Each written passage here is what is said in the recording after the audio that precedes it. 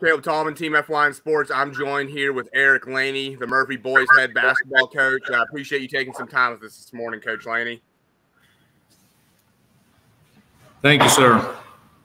Uh, just uh, want to we want to hear about your team. We know uh, you played a big role in the football team, and you can even speak about that a little bit. Uh, so you guys are really just getting started here this week with your full team for the first time.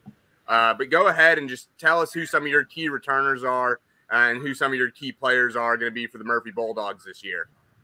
Uh, so we've got a, a, really good group of kids uh, this year. Our numbers are not quite as high as they have been in the past, uh, but we have returning from last year. We've got senior Hunter Laney. Um, and then we also have junior Dylan Brown, who will be returning after a uh, after a good uh, sophomore season with us last year. Um, we're going to be bringing in newcomer Jawan Allen. He's going to play for us this year, so we're excited to have him. And then uh, our from our JV team last year, who had a really successful season, uh, you bring in Cole Laney, Ty Laney, Will Carringer, Dozer Mashburn, uh, Wyatt Simmons, and then also sophomore. All of that group is juniors. And then sophomore Zach Scogan will be with us, and then also sophomore Dominic Rumler will be with us this year. So we're excited to have a good group of kids.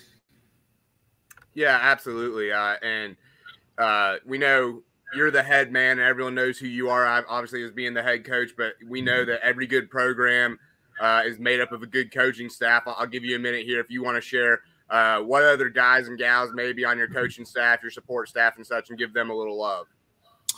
Uh, so we're bringing in. So we've had kind of a changing of the guard. Um, Coach Trent Abling has been with me for the past four years, uh, and he's not going to be rejoining us this year. And then also Heath Curtis, who just uh, who just started his uh, he's just started his family with a new baby, so he's going to take the season off. He's going to be here and around, but he's not going to be a consistent figure in practice. Uh, so new additions will be. Um, our middle school coach for the past, well, for many years is going to be Andrew Scogan. So he's going to be helping um, helping at the varsity and JV level, and then also a former player uh, of ours in Dawson Grizzle. He's going to be taking the head role as our JV coach, and then also uh, playing a big role in our varsity program as well. Good deal, good deal. Uh, and just uh, we know, and you can and share a little bit about it because um, obviously, y'all had a very successful football season over at Murphy, and a lot of your players uh, played both sports. Uh, so you, you can tell us uh, one, you know, how getting started a little late affected y'all, uh, and then also kind of share this uh, with that in mind, what some of your team goals are and, and what you guys are hoping to accomplish this season. I mean, you know, our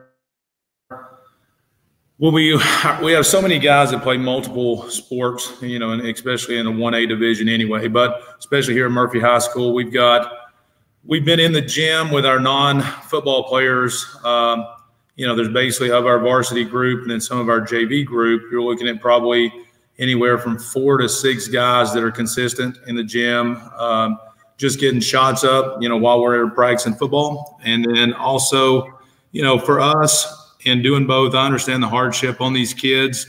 You know, it's hard when you're trying to make a run in the playoffs and you're trying to mitigate risk of having them continue to be, you know, continue to be available to play uh, on Friday night, and then also the distraction of having them in the gym on, you know, during the course of the week. So we try to limit those distractions. So we try to, you know, allow them to finish their run in the playoffs, and then once that playoff run is over, then we begin basketball season. So as of right now, we've had four practice sessions. We'll have another practice session today, and then we will have our first game with Fannin County tomorrow. So, you know, it's the same way, you know, every year, uh, and has been this way for years and years. You know, in the past, it's just we're going to get started late, and then as we get started late, you know, once we become a, a basketball team instead of a football team, then we're going to try to take it day by day, uh, try to get a little bit better every day at practice, and then hopefully, you know, throughout what we would consider to be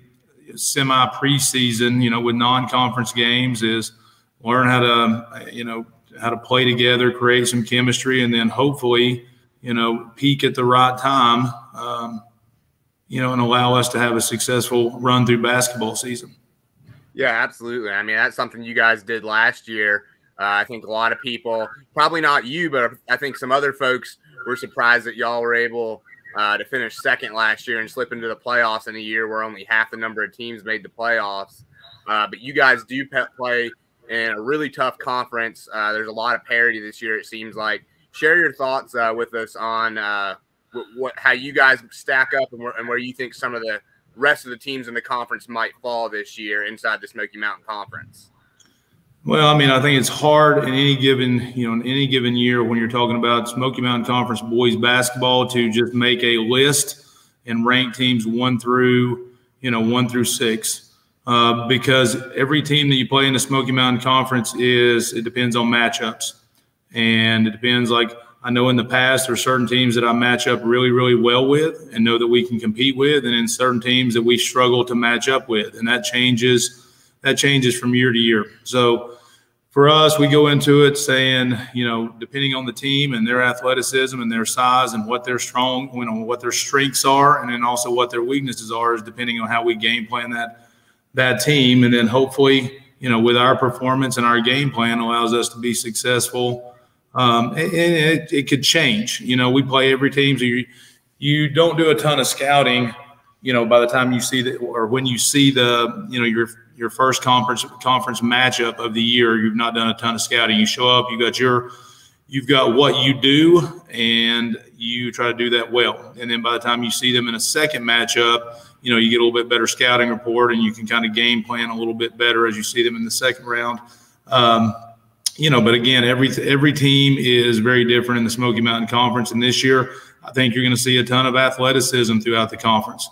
Um, and you got some quality basketball players you got quality athletes. And so it should make for an extremely fun, uh, fun year. And, you know, the blessing of this year is you're not playing 14 games. You get the, the kids get an opportunity to get back on the floor for, for a full season with minimal regulations and no mask. And so, you know, we as a, as a team and as a staff and as a school, we're extremely excited to get back into some normalcy with basketball season. Yeah, absolutely. I think, uh, no one's more excited than hear us at Team FYN Sports to be able to get to cover a full season of all our local area teams. And of course, uh, you know, as a reporter, I got to be in the gym a lot last year, but it, it was so odd to not have fans. And it's, it's a, really a blessing to be able to have fans back this year and have full crowds uh, supporting our local teams. Uh, but my last question is for you, Coach. Uh, we, we know about your conference schedule. We know about the conference teams, but go ahead just for the fans watching this uh, highlight some. I know you mentioned the Fannin game, but highlight some of the key games uh, that make up your non-conference schedule, and then if y'all are playing in any Christmas tournaments and such, that way people know how to where to go and how to find some good games to watch Murphy basketball. Uh, I mean, our non-conference schedule, we're actually going to add in. Uh, so you play Fannin. We end up playing uh, Hiwassee Dam, which is always a is, is always a battle for us. You know, being inside the county. Uh, we're going to have a uh, have two games with Inca High School this year. You're going to have uh, two games with Tellico Plains, uh, and so those are going to be you know those are going to be good matchups in preparation for us to get into conference play.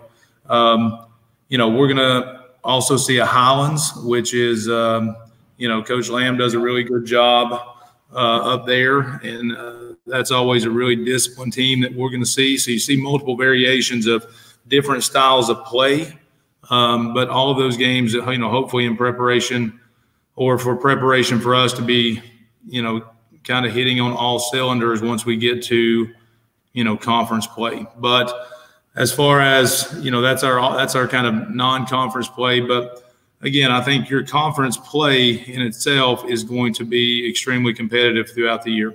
I, again, it just depends on who you see on any given day and how we, you know, how they match up with us and how we match up with them. Absolutely. Well, Coach, I really appreciate you taking some time with us.